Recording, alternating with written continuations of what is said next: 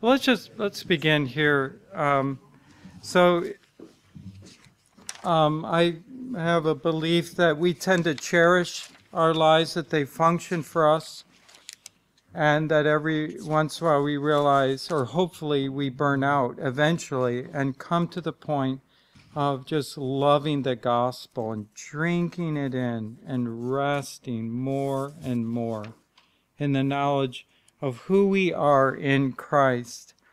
And as we take go to war against the onslaught of accusation, kind of like Joshua the high priest, who on Yom, Yom Kippur, on the Day of Atonement, was probably the godliest man in the community and Zechariah and Zechariah 3 had a vision of him as being filled with filthy rags in the presence of God as Satan walked back and forth accusing him uh, and as like Satan still uses the law in our life as a believer telling us we're awful Truth is, we are. We're even worse than we think we are. But, praise be to God, there was another who didn't just die on the cross in substitutionary atonement or sacrifice. I used to have a Greek preach, pastor, and he his English wasn't like like yours, and he said atonement. And instead of saying, this is where the rubber hits the road, he'd say, this is where the tire hits the pavement. And uh, we listen and think through everything. But on atonement that Christ substituted for a people, he, he, the, the wrath of God passes over us because the blood of the Lamb is over the doorposts of our heart. But the wrath of God did not pass over his only begotten Son.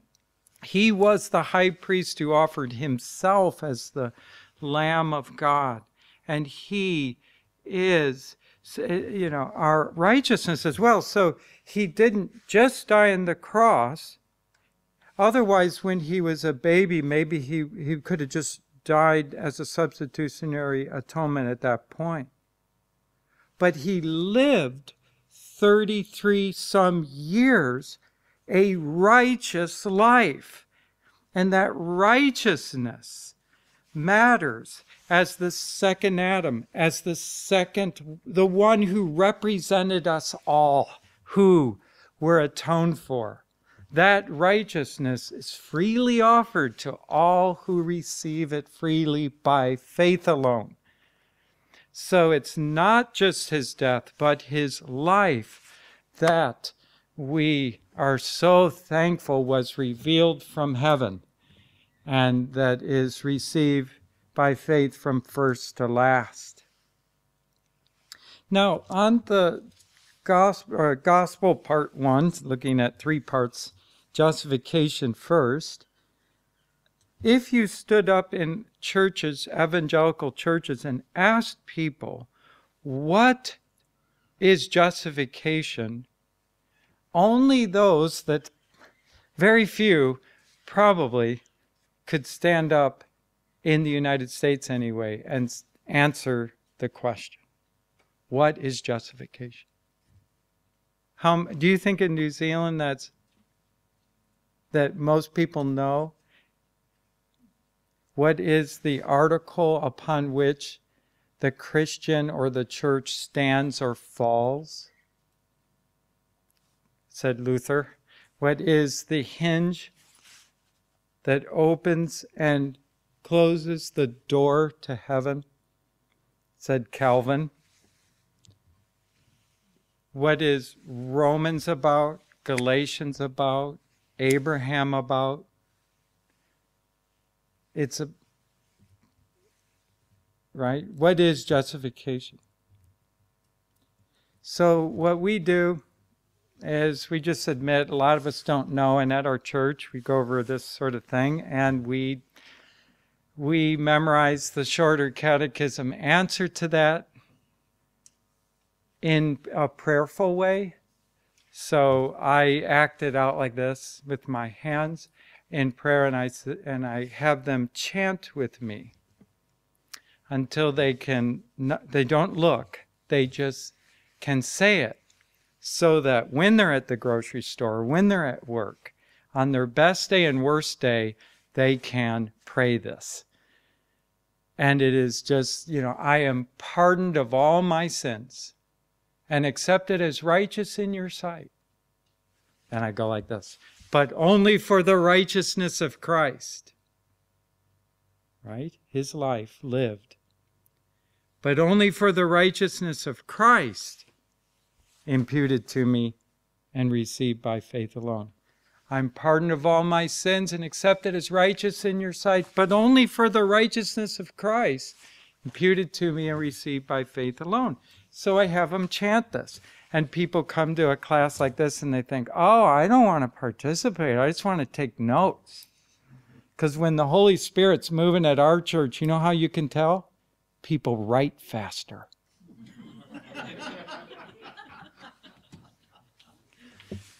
um, so even the people my age and older memorize it. And it's hard. And guess what I do? I have them say it over and over, and they're like roll their eyes. And finally, the reluctant even are doing it. Just to have uh, memorization righteousness. Um, we gotta, you know, we gotta all get it.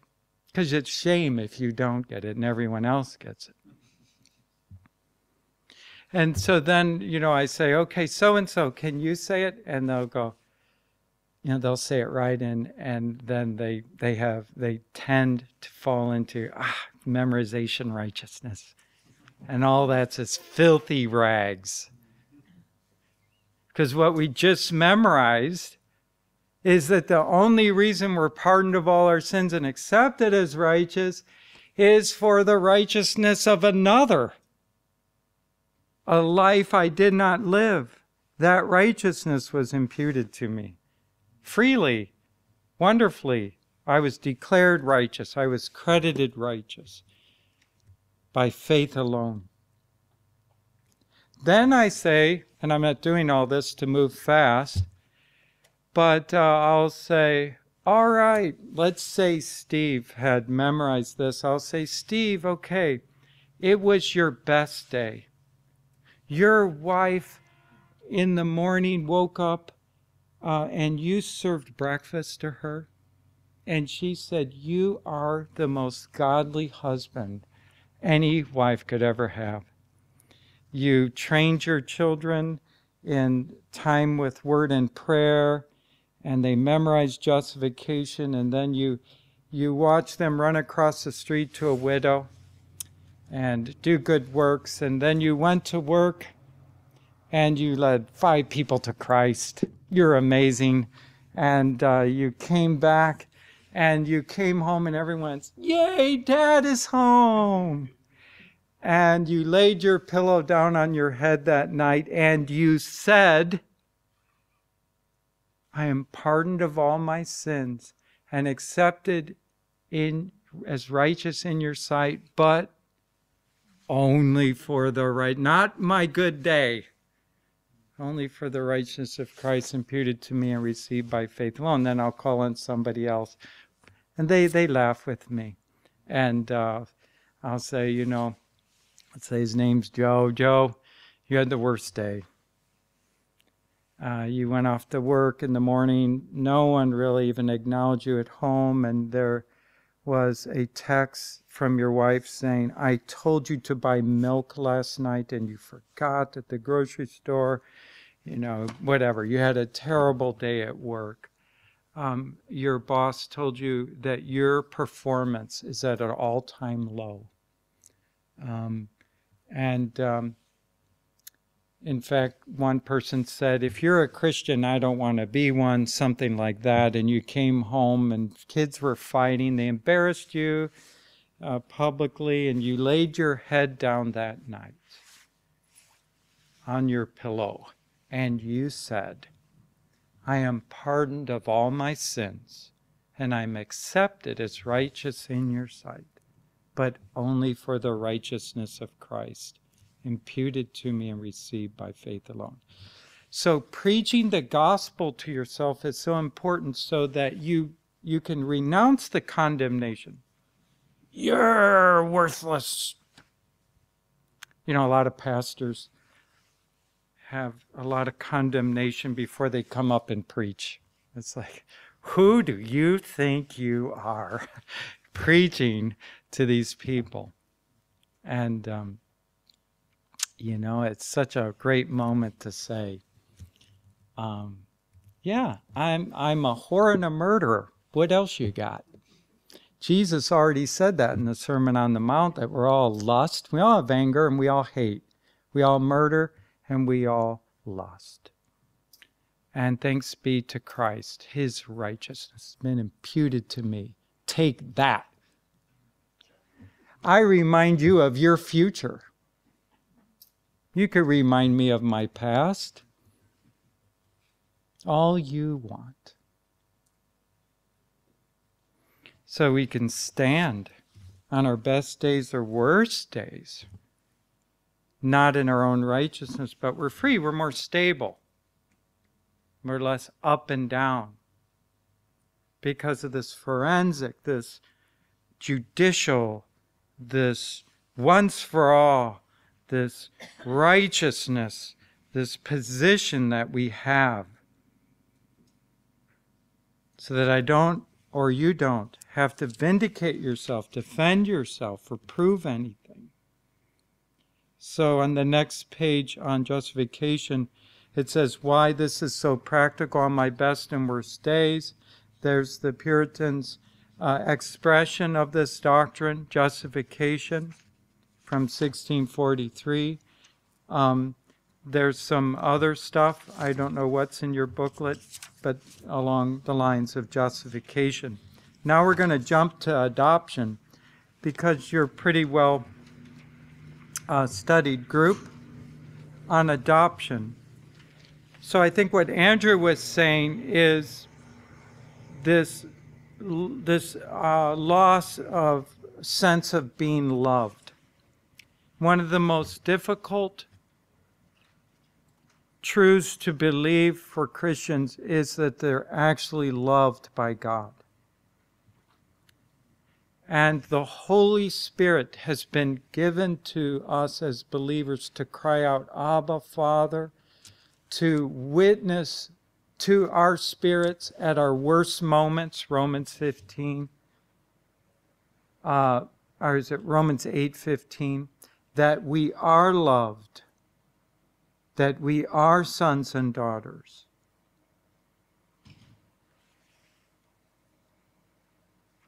So, preaching the gospel to ourselves, we renounce, you know, I'm not an unwanted orphan. I am wanted and loved. And I don't just have a gospel mantra, I commune with God about that. And that is so hard to believe but the Holy Spirit empowers us to again and again believe the gospel. We're like fish that go around an aquarium. They say fish have very short memories, and the fish comes around the aquarium and sees a castle and goes, Oh, a castle. And then goes around, comes back around, sees the castle, Oh, a castle. We are the same way. After I preach on Sunday, I forget by the time I get home. And so we're always in need. I used to wonder after I became a Christian, why do we come to church? This is for the non Christians to hear the gospel. Why do we have to hear the gospel again? Why do we have to have communion and hear again? This is my body broken for you. This is the cup of the new covenant. Shed the you know the cup of the new covenant. Uh, I'm tired. This is the new covenant cup in my blood, shed for many for the remission of sins. Drink from it, all of you. Why do we have to be reminded that we're forgiven and loved over and over again as Christians? Because before we're Christians, Satan sort of leaves us alone. Most non Christians think, I'm okay. Things are okay. I don't need God. Most Christians, and maybe you've wondered as a counselor, brother, but a lot of Christians struggle with being these awful, dreadful thoughts of condemnation. Most Christians, like you'd think the non Christians should come under the law and sense they are condemned, but most Christians, the, it's like they're, they're left alone on that. But Christians struggle with awful thoughts of doubt that God would ever love them. And uh, so the, the, I encourage you to meditate on the gospel. I gave biblical references. I gave quotes. I love this quote from Spurgeon for the clergy, Charles Haddon Spurgeon. Ian, you know about his son, Thomas, in Hamilton. There was a church established there. But uh, Spurgeon said, uh, the next page at the bottom, while I regarded God as a tyrant, I thought my sin a trifle. But when I knew him to be my father, then I mourned that I could ever kick against him. When I thought God was hard, I found it easy to sin. But when I found God so kind, so good, so overflowing with compassion, I smote or I beat my beat upon my breast to think that I could ever have rebelled against one who loved me so and sought my good. So if you want to change or see people change, it's not through condemnation. It's through re, re putting forth again the gospel that God loves us. Um, that's what David, I did my dissertation on Edwards, and David Brainerd, he, Edwards wrote, worked together a book on David Brainerd's journals. And Brainerd noticed that when he preached to the Native Americans on condemnation and all that, there was little change. But when he spoke on the love of God, it was actually then that they began to weep and come under conviction. So I just uh, illustrate this when we've had uh, what five kids and we have all these grandkids now, and when they learn to walk, generally speaking, they walk across our living room or one of my children, adult children's living room, um, lounge, you know, area, and they there's sofa and that around uh, couches, and so they mom or dad lets them go. They're about two years old they look like drunken sailors, you know, they got a big stomach and a milk bottle, and they start across and they make the first step, or maybe two, and everyone in the family saying, Yay, go Gideon! You know, go Micaiah, or uh, Nora, or whatever, which one it is. And the moment they start to fall, we catch them. We say, Good job try that again. I'm so much love, so proud of them. How much more our attempts at obedience does our Heavenly Father love us? He is not kicking us and saying, You should have taken four steps, not two. You know, should be stronger. He knows we are children. He loves us. He's a, he looked at the orphanage of this life and in love chose us to be his children.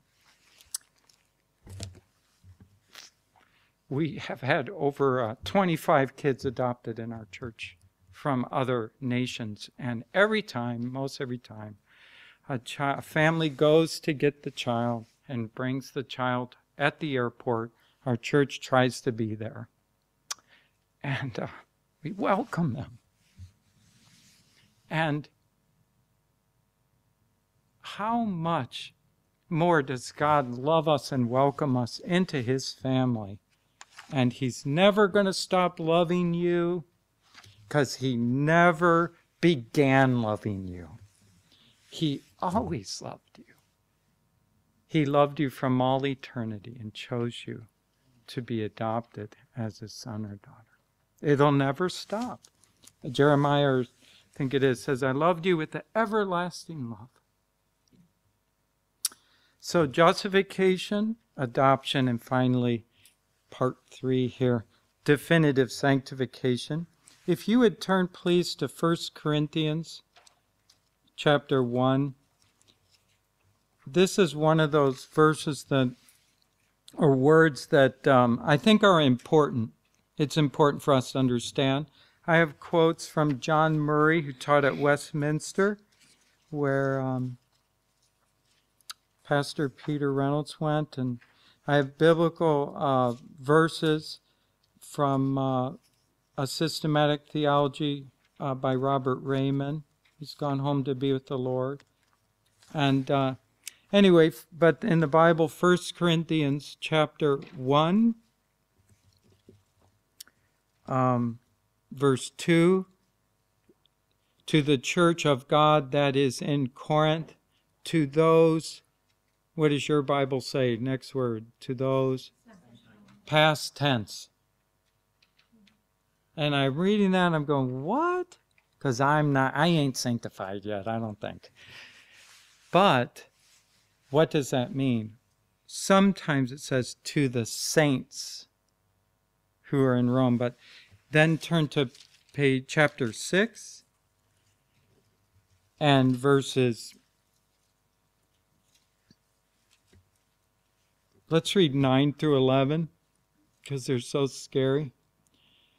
Um, or do you not know that the unrighteous will not inherit the kingdom of God?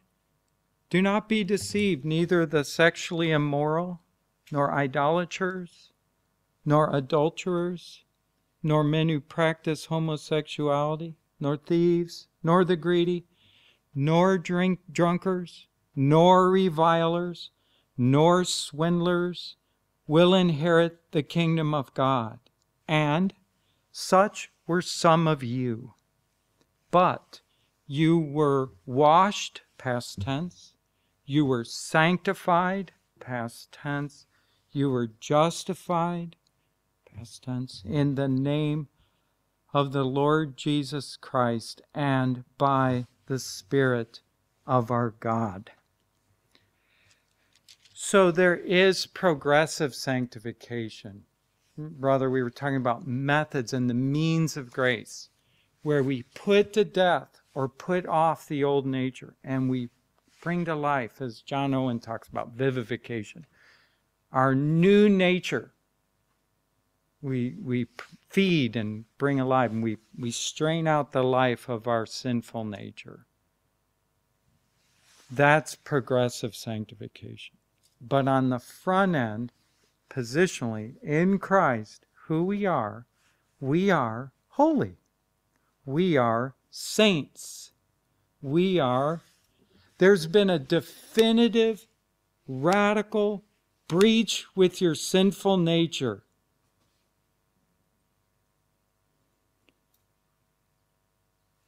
A one time, definitive, boom. And you were set apart anointed with the Holy Spirit, gifted with charismata, gifted with spiritual gift, yes, gifts. I don't know, give gifts. And you were named. I mean, you are in God's sight a saint. Holy, past tense, sanctified. So I believe this is important as well as to remind yourself I am a saint. I am not a victim. So in the US culture more, and I don't know if it's here as much, but people are often use the idea that they're a victim. If you only understood um, why I was so awful and rude because you know you know Karen my sweetheart I was rude because there was somebody who drove real slow in front of me on the way home, and uh, that's why I'm late. And and I got upset. I had a really hard day today, and you remember way back when, when I was young, this bad event happened, and so any court in the land would understand that I'm excused for being so rude this afternoon. And um, that's begging for understanding but not for mercy. Would you forgive me? I was wrong. Or whatever. But sometimes with our sinful nature, we could um, we could say, "Well, I'm a victim of my sinful nature," and deny that there's been a radical breach with it. This is like Romans six. I, uh, for those that love uh, credo baptism, that I've union with Christ, I've been buried with Him, His death, union with Christ, and raised to life with Him. So, if we don't remember we're saints and that this old nature, though it, there's a, a constant war with our new nature, if we don't reckon or remember that it has been crucified with Christ, we can or uh, tend to say, I'm a victim of my sinful nature. I mean, there's no way I can change. It's too much. And this can be a helpful doctrine and um, reminder that, that that's not true. And so the more we slay it and put it to death, the more we can rule it and go to war. We got to go to war. But we have this definitive break that the Holy Spirit gave us. We have an empowerment. And so, not perfectionism, but we're not victims either. We need to rise up and go to war. So, what did we say during this time today? We said it matters what God says about who each of us is or who we are in Christ. That you are made in the image of God, that you never lost that glory. That if you weren't here, your unique thumbprint, we would miss you. And that you and I, we are not only glorious, but we're ruins. So we are very broken and fallen image bearers. And we're vulnerable to condemnation. We lost original righteousness, and our autonomous claim is to try and establish our own. And therefore, in the midst of a fallen world, when tragedy happens, our own self, false, you know, sinful nature, our own conscience, Satan accusing the accuser, beats us down with condemnation. But since we're united with Christ, we take that condemnation, those condemning thoughts, those accusations captive and renounce them and we preach the gospel to ourselves and we say, I am pardoned of all my sins, God. I am accepted as righteous in your sight, but only for the righteousness of Christ imputed to me and received by faith alone. On my best days, on my worst days, it's still true. And I am your son, or as a woman, your daughter, and I'm loved as I attempt obedience. I do it knowing you're not a tyrant. You are a loving father.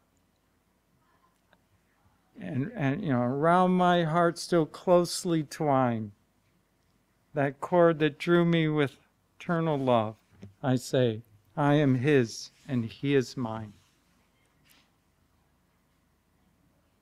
And um, then we have had a radical breach with our sinful nature. I am a saint. You are a saint. And the Holy Spirit has empowered you, dwelt you, gifted you. And He is determined to continue to put your sinful nature to death. So that we even want to pursue righteousness and be like Christ. As we focus on Christ outside of ourselves, the Holy Spirit transforms us from one degree of glory to the next, just gazing upon His beauty, actually. 2 Corinthians 3. So that there is a summary. Let me close in prayer. Lord, we pray you would free us from lousy thoughts, from the evil one, the world, our sinful nature, other people, and help us to give you the only authority to tell us who we are, and that you would give us joy in Jesus Christ, our righteousness, our wisdom, our sanctification, our treasure, our great high priest.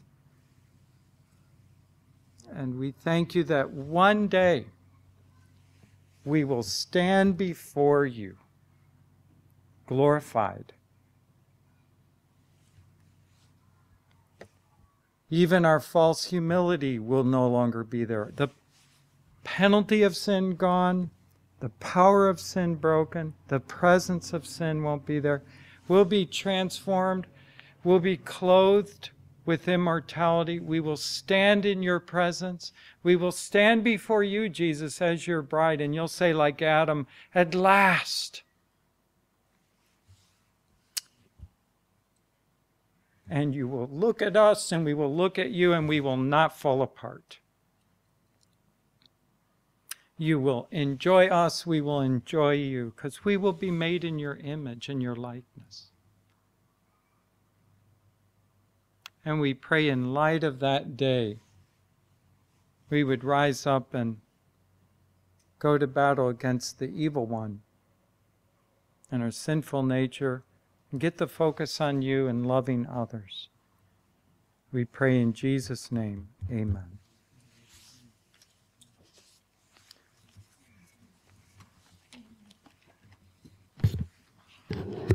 Thank you.